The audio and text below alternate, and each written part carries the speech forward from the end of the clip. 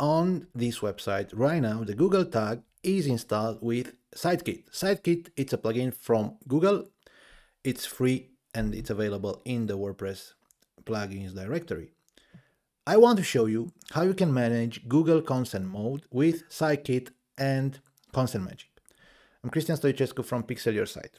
Our main plugin Pixel Your Site installs all sorts of tags, including the Google tag. However, some clients use our plug plugin for uh, Metapixel and uh, SiteKit for Google Analytics.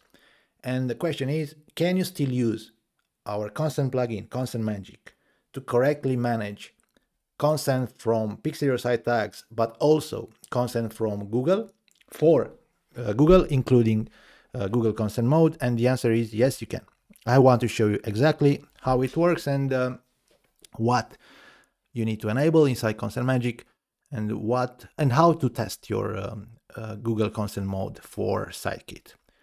So what you need to have inside Consent Magic is very simple. This is Consent Magic. We have various rules and uh, here on the settings page, make sure that you have Google Consent Mode enabled. Once you do so, Google Consent Mode works the way it should. Let me show you. This is Tag Assistant, the default tool when it when you want to test your Google tags.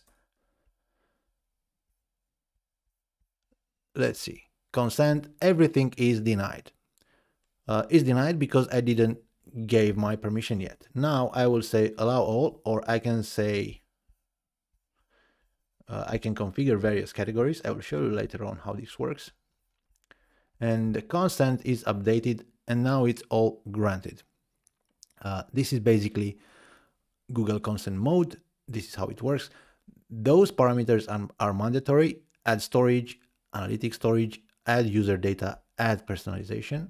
And uh, inside Consent Magic, we have a few settings.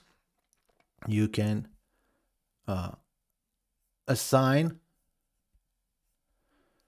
here scripts and cookies, predefined scripts. You can assign a category for each parameter.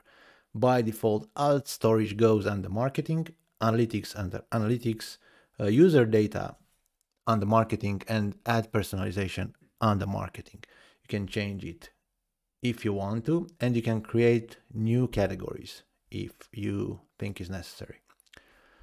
Um, why is this important? Let me open Tag Assistant again.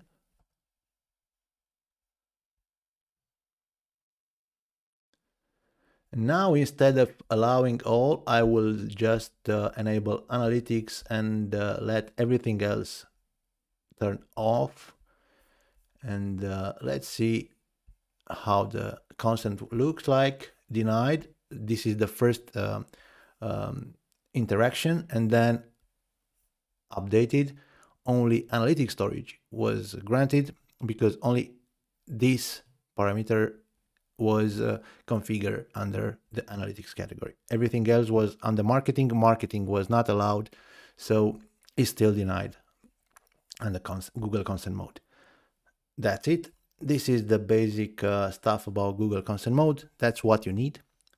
It's actually mandatory starting from March 2024. And I wanted to show that it's possible to manage Google Consent Mode for tags that are not installed with Pixel Your Site, but in this example with uh, SiteKit, a plugin from Google. I'm Christian Stoicescu from Pixel Your Site and you can find uh, our constant plugin, Consent Magic on pixelyoursite.com. Thank you for watching.